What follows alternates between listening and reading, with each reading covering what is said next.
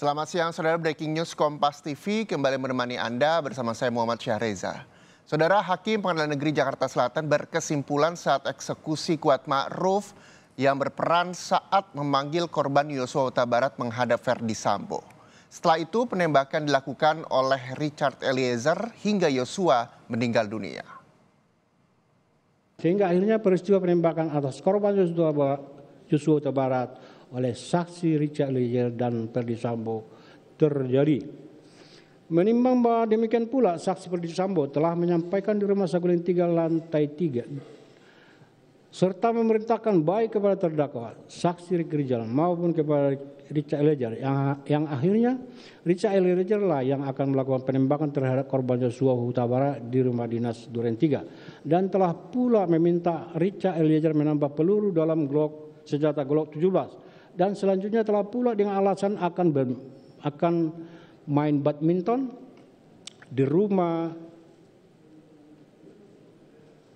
salah satu mantan petinggi Polri yang memang sudah diagendakan. Tetapi kenyataannya telah berhenti dan pura-pura menerima telepon dari Putri Chandrawati dan mengucapkan, halo, halo. Ketika berada di pertigaan Duren Tiga serta mengatakan kepada Ajal Romer dan Prajogi yang mengemudikan mobil, Ibu kenapa? Berhenti, berhenti.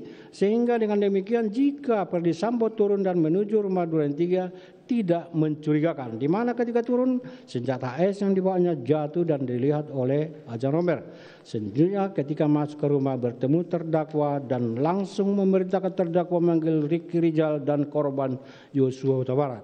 Dan akhirnya setelah masuk korban Joshua Barat dipegang leher belakangnya, setelah didorong ke depan serta berteriak jongkok tanpa memberi kesempatan kepada Joshua Huta Barat mengetahui apa yang terjadi serta memberikan jawaban jika memang hendak dimintai konfirmasi dan langsung berteriak woi kau tembak kau tembak cepat cepat kau tembak yang ditujukan kepada Richa Eliezer yang sebelumnya telah diminta Verdi Sambo mengokang senjatanya sebelum korban Joshua Huta Barat dipanggil masuk oleh Ricky Rizal. Sehingga Ricky Richard Eliezer menembak senjata Glock 17 miliknya sebanyak 3 sampai dengan 4 kali ke arah korban Joshua Huta Barat.